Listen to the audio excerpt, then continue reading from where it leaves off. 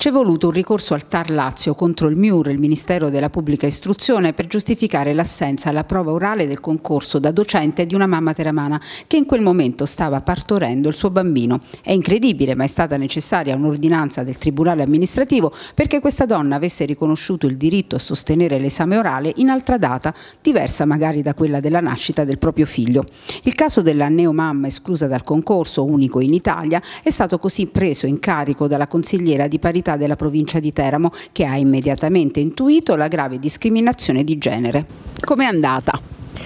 E ad agosto, durante l'estate, si è rivolta a me eh, una neomamma disperata perché aveva perso una chance, quella di poter partecipare al concorso per eh, l'insegnamento, concorso che sicuramente si ripeterà chissà tra quanti anni e la sua chance l'aveva perduta perché era in ospedale a dare alla luce il suo piccolo bimbo. Ho subito preso in carico questa, questa neomamma e ho dato mandato alle avvocate del nostro ufficio per procedere dinanzi al TAR. Come avete impostato il ricorso? Il ricorso è stato impugnato appunto soffermandoci sull'articolo 7 e sull'illegittimità dello stesso, proprio in violazione del codice delle pari opportunità, oltre che ovviamente sul, sulla violazione dell'articolo 97 della Costituzione, quindi il fatto che l'ufficio pubblico non sia stato eh, in grado di tutelare mh, la ragazza, oltre che ovviamente ha dato atto ad una serie di omissioni e ovviamente anche la violazione dell'articolo 2 e dell'articolo 3 della Costituzione, nonché l'articolo 51, cioè il fatto che le donne debbano debbano